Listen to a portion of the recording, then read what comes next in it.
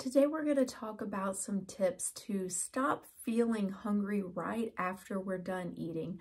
I've struggled with this most of my life and I still struggle with this from time to time. These tips are from Healthline and they are evidence-based and I'll include the link in the show notes so that you can read all the details about it. The first tip is we want to make sure we're eating enough protein. I actually am a protein girl. this can increase feelings of fullness, lower hunger hormone levels, and potentially even help you eat less at your next meal, which I think is pretty cool. Number two is eating foods that are high in fiber.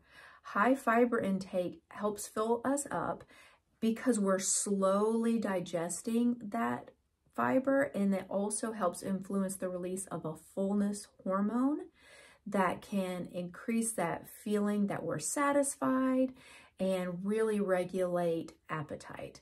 Uh, if you aren't really eating enough fiber, I highly recommend doTERRA's fiber. I do a scoop of fiber and a scoop of greens every day at 4 o'clock for my 4 p.m. snack, and I absolutely love it. I can tell a big difference in my digestion, and I'm usually not snacking before dinner when I do that. We want to make sure we're getting in enough water. We want to be drinking half our body weight in ounces, and you can build up to that. Like if you're really far from that, slowly build up to half your body weight in ounces. Sometimes our body is just mistaking thirst for hunger, and when we drink a big glass of water, your body was like, oh, that is what I needed. So next time you think you might be hungry, try drinking a glass of water and see if that really helps satiate the body. When we're eating, eating solid or hard foods that actually require us to chew can help signal to the brain, oh, we've eaten. Sometimes when we do shakes and we're not chewing, we can get hungry right away, even though there's plenty of nutrients and protein and all sorts of things in those shakes. If we haven't actually had that chewing process, our body's like, you haven't fed us yet.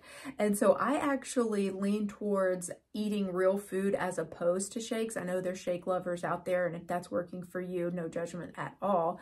But if it's not working for you, know that it's that. It's not you. Our body might need to know, oh, I chewed food. I, you really did feed me. The next tip is eating mindfully, and I have an episode on this.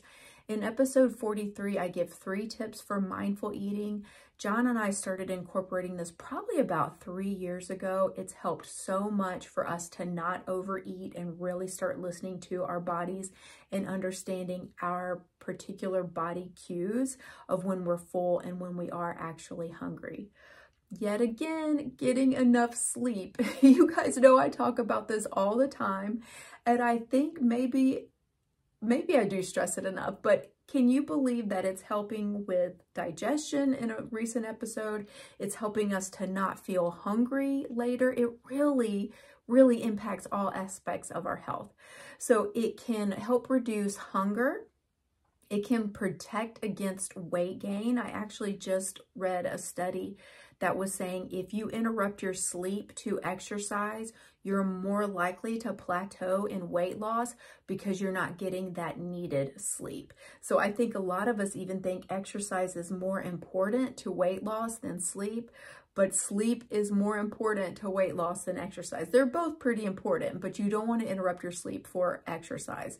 I thought that was kind of mind blowing. Anyway, so studies show that getting too little sleep can increase our subject's feelings of hunger, appetite, and food crazy, cravings. Sleep deprivation can also cause an elevation in hunger hormones. So too little sleep increases feelings of hunger, appetite, and cravings, and getting enough helps lower the elevation of those hunger hormones. Finding ways to manage stress is actually very important too. I have several episodes on that. Excess stress is known to raise levels of the hormone called cortisol. And this is known to increase food cravings and have that drive to eat. And that has also been linked to weight gain. So kind of think about when you're stressed and you just want to start chewing on something that's crunchy or, you know, you just go to the pantry because you're upset about something finding breathing techniques or essential oils or ways that we can manage stress without going quickly to food.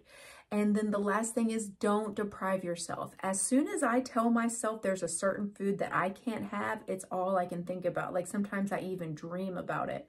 And so I've recently, gosh, probably about two years ago, really not said that you can't have that.